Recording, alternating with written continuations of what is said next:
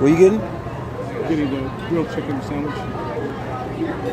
Now, uh, it's just something about uh, on bagel. Can you give me on uh, regular bread? Yeah, you could do like a nine grain sourdough or um, rye.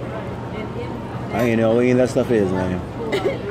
Sourdough would just be white bread. Um, nine grain would be wheat bread, and then rye is just I, I'm, I'm a plain guy. I just need the plain stuff. plain. But I- on the chicken, I just want um, the chicken. It comes with a chick, the chicken and man, mayonnaise only. I'm simple, simple like a dimple. I just need the grilled chicken with this mayonnaise and, and the, yeah.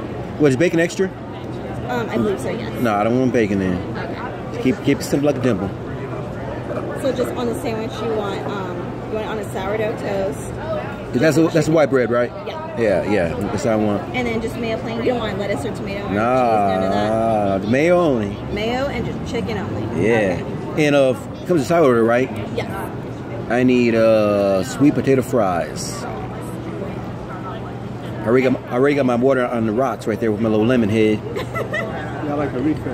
Yes, sir. Um, for your grilled chicken sandwich, is the bagel okay, or do you want to do something else? Bagel. Bagel okay? Okay. And I'll be right back with some water. Appreciate You're you. welcome. You're welcome. Have a good day.